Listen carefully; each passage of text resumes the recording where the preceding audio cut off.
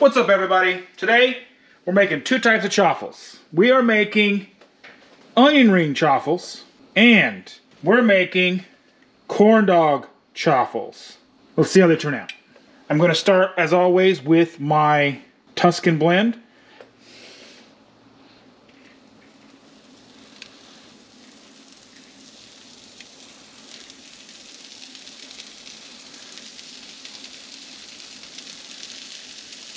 To put down a little bit of mozzarella.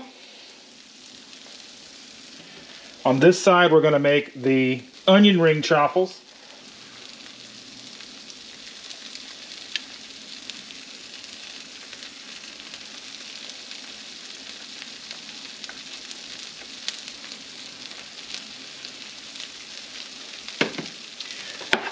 This side, we're going to make the corn dog chaffles. Put some hot dog in here.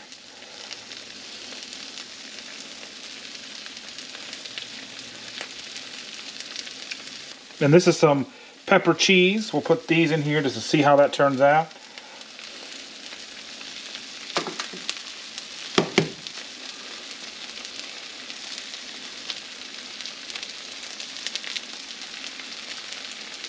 Mozzarella on top. Tuscan blend on top of that. Again, I like the Tuscan blend because it gives everything a nice crisp texture on top. All right, let's check them out. See where we are. Again, this is the onion. And this is the hot dog.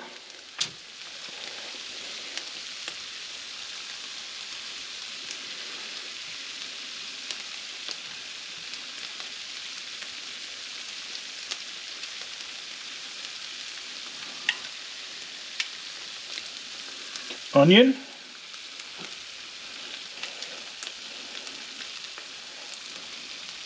Hot dog.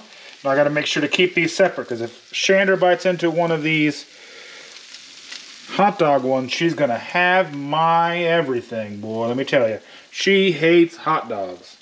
The Tuscan cheese that I'm using is a Tuscan blend cheese, Parmesan, Romano, Asiago. It's all shaved. It's delicious. You guys plan on making these? Do they sound like they'd be interesting? What kind of things do you want to put in a chaffle? What sounds like a good idea? Did you watch the pickled chaffle video that I made? It'll be up here in the top corner for you to check out. Please in the comments down below, let me know what you like, what you may want to see in the future. Please like, subscribe, share with all of your friends. Thanks so much again for watching. And you have a wonderful, wonderful time, and I'll see you later.